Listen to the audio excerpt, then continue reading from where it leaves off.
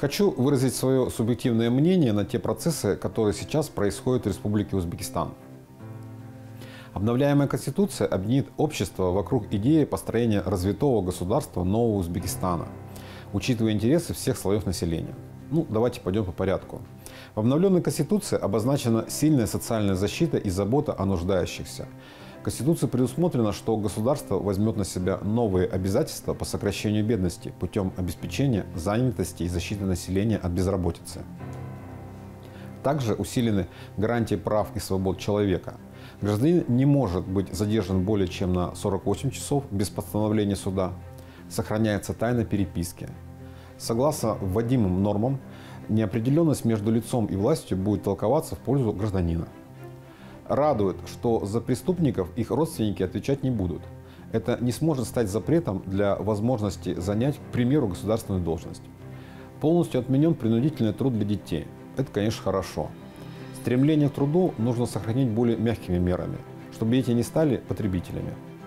Расширяется круг конституционных прав и свобод, таких как защита персональных данных, бесплатная юридическая помощь, равенство в доступе к государственной службе, получение гарантированного объема медицинской помощи за счет государства. Поговорим об образовании. За последние 6 лет количество вузов в Узбекистане увеличилось с 77 до 210. Прием в них увеличился в 5 раз. Количество студентов увеличилось на 1 миллион, а охват высшим образованием увеличился с 9% до 38%. Также хочу обратить ваше внимание на то, что наши дружественные страны активно сотрудничают в сфере образования и сохранения в Узбекистане изучения русского языка. В настоящее время работают уже 15 филиалов российских вузов. Активно функционирует и Российский центр науки и культуры. Целую главу вы посвящаете молодежи, делаете ставку и на их социальных гарантиях.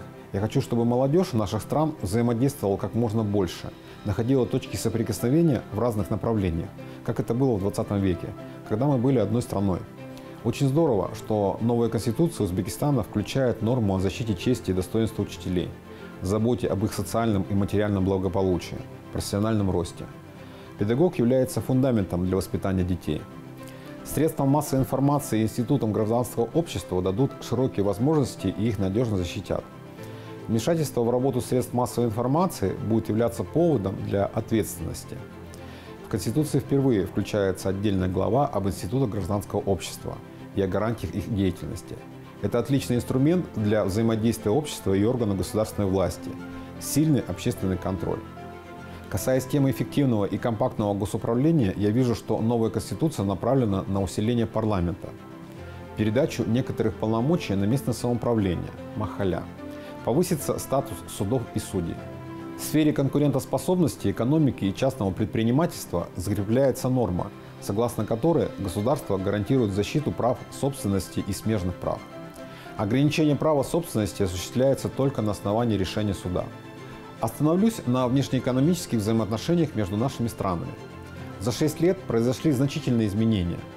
Основу российского экспорта составляют металлы и изделия из них, машины, оборудование – транспортные средства, продовольственные товары и хозяйственное сырье, древесина и целлюлозно-бумажные изделия, продукция химической промышленности и минеральные продукты. Импорт представлен текстилем и обувью, продовольственными товарами и сельскохозяйственным сырьем, продукцией химической промышленности.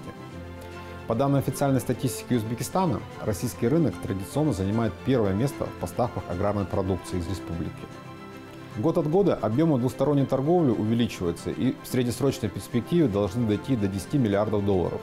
Существенное место в комплексе российско-узбекских отношений занимают вопросы трудовой миграции. По официальным данным, на заработках в России находится более 2 миллионов мигрантов из Узбекистана. И это больше, чем в 2022 году. Это говорит о взаимной потребности как в трудовых ресурсах для России, так и в получении работы узбекскими гражданами в нашей стране. Узбекистан становится все более привлекательной туристической страной для россиян. По данным Ассоциации туроператоров России, в апреле 2022 года Узбекистан посетили 29 тысяч граждан Российской Федерации.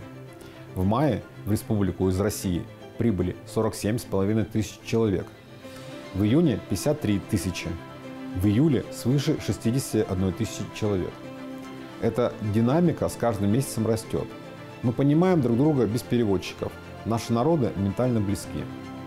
Я знаю, что для сближения наших стран в сфере экономической дипломатии делается много со стороны Узбекистана. Начиная с 2018 года на территории России открыто 5 генеральных консульств. Одно из них находится в городе Екатеринбурге, которое возглавляет Абдусалом Курбонович Хатамов.